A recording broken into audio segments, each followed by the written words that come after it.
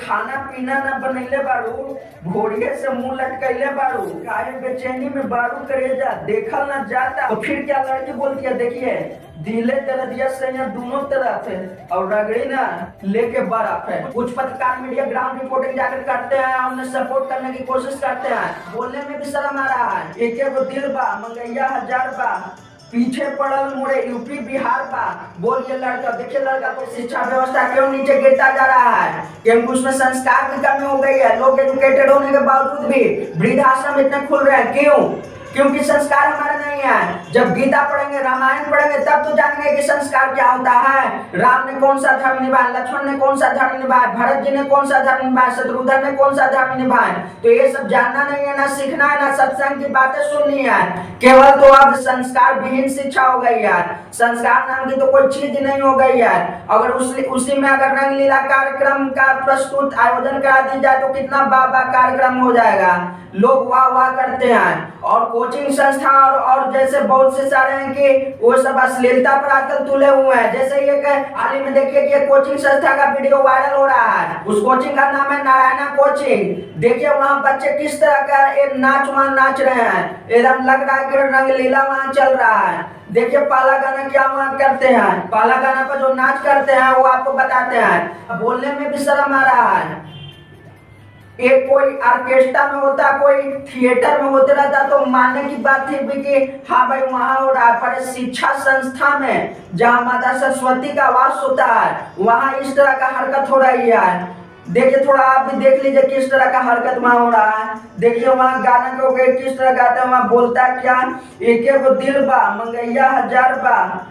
पीछे पड़ल मुड़े, यूपी, बिहार बा। बोल बोलिए लड़का, देखिए लड़का लोग किस तरह सब लगे हुए हैं, एकदम लग रहे हैं कि प्रैक्टिस कर कर आए हुए हैं। कुछ कुछ पत्रकार मीडिया ग्राउंड रिपोर्टिंग जाकर करते हैं, उन्हें सपोर्ट करने की कोशिश करते हैं। और कुछ वहाँ के लोग भी बोल दिए उन्हें कि, नहीं, ये तो थोड़ा सा क्लिप बीच में अनजाने बच गया था और ये वायरल लोग कर दिए। तो अनजाने एक तो हो, एक हो सकता है ना कि दो, तीन, चार ऐसे हो सकता है। फिर दूसरा गाना पर देखिए किस तरह लोग नाच रहे हैं। ऊपर छात्र छात्रा नाच रहे हैं। देखिए खाना पीना ना बनैले बारू, घोड़िए से मुँह लटकैले बारू। काहे बेचैनी में बारू करेजा देखल ना जाता। तब तक देखिए कैसा कैसा यहाँ हरकत हो रहा है। सब गाना कौन सा लायक है? तो फिर क्या लड़की बोलती है, देखिए, दिले दरदिया से यहाँ दोनों तरफ़ और रगड़ी ना। लेके बर्फ़ है एक कैसा गाना बज रहा है? तो हम ऐसा ऐसा गाना भी नहीं सुनते, ना देखते हैं। हमने देखा और उसी को मैंने लिख कर आप लोगों के सामने प्रस्तुत कर रहा हूँ कि देखिए किस तरह का हरकत वहाँ हो रहा है। ऐसे माता पिता से मैं अपील करना चाहता हूँ कि वो अपने बच्चों को ऐसे कोचिंग संस्था में नहीं भेजे, बल्कि स्कूल कॉलेज में भेजे जहाँ अच्छी तरह से संस्कार युक्त शिक्षा दी जा रही हो।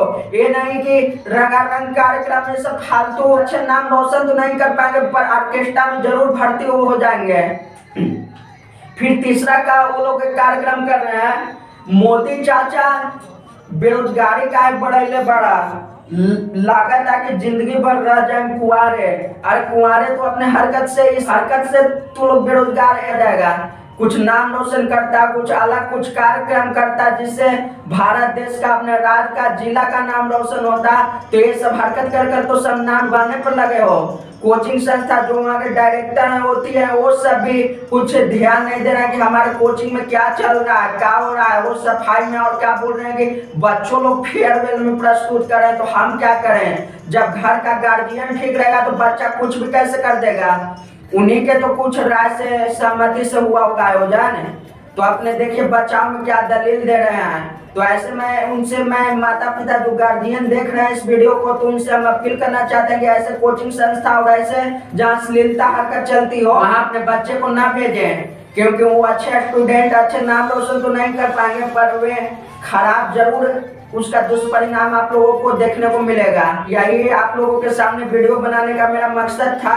अवेयरनेस के लिए कि ऐसा हरकत आप लोग कर कर क्या आप लोग दिखाना चाहते हैं? शिक्षा व्यवस्था शिक्षा व्यवस्था को धूमिल क्यों करने में आप लोग पड़े हुए हैं? अपना राय कमेंट बॉक्स में ज़रूर दीजिएगा। इतने के लिए धन्यवाद। जय हिंद, जय भारत।